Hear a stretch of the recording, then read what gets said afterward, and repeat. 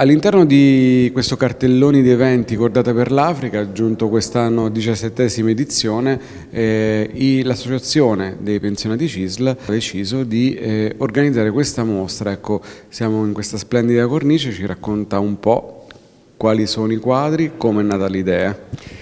Ma l'idea nasce dalle nostre federazioni territoriali, eh, soprattutto quella dell'Aquila, quella di Pescara, quella di Chieti, eh, a cui si aggiunge poi anche quella del Molise. Eh, perché come sapete noi come federazione pensionale e come CISL siamo eh, uniti a quella del Molise, quindi siamo Abruzzo Molise. L'idea di fare questa mostra viene sia ai eh, responsabili della eh, FNP territoriale che l'affidano però per l'organizzazione alle nostre eh, associazioni di volontariato che sono le Anteas. Abbiamo due Anteas a livello regionale, una per l'Abruzzo che è Anteas Abruzzo e una per Molise che è l'Anteas Molise. Ci parli un po' della mostra.